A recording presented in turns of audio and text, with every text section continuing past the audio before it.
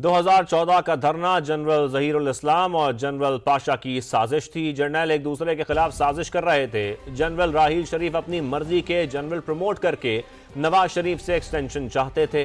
Senior सियासतदान जावेद हाशमी के programme समा डिबेट में गुफ्तगू, कहा, बेटी और भाई की हुकूमत के बावजूद नवाज़ शरीफ की सियासत जवाल का शिकार है।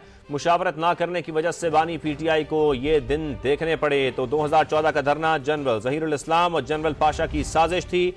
जर्नल एक दूसरे के खिलाफ साजिश कर रहे थे। जनरल राहील शरीफ अपनी मर्ज़ी के जनरल प्रमोट करके नवाज़ शरीफ से एक्सटेंशन चाहते थे। सीनियर सियासतदान जावेद हाशमी के प्रोग्राम समा डिबेट में गुफ्तगु। ये भी कहा कि बेटी और भाई की हुकूमत के बावजूद नवाज़ शरीफ की सियासत जवाल का शिकार है। ना सारा है। हाँ।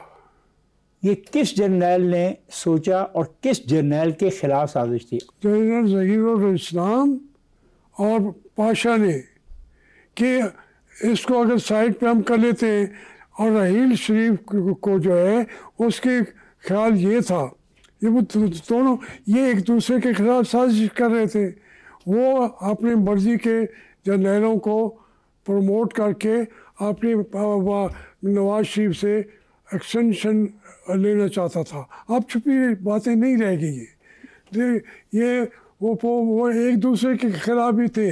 और ये हमेशा होता है। मैं आज भी कहता हूँ कि मियाँ साहब के तर्ज सियासत में मशावरत की कमी थी। ये बात इमरान खान के बारे में भी कही जाती है कि वो मशावरत में यकीन नहीं रखता।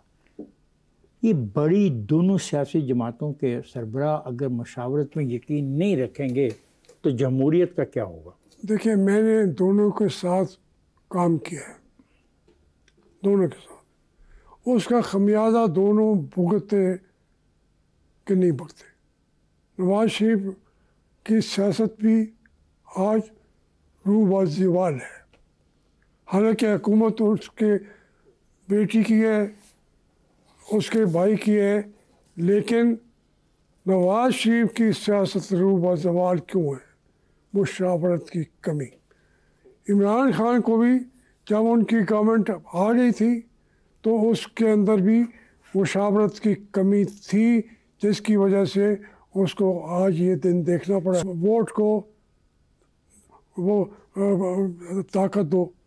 वोट को ये तमाम चीज़ें उन्होंने उठाई थी, फिर उसके ऊपर डील करके वो लंदन ना जाते।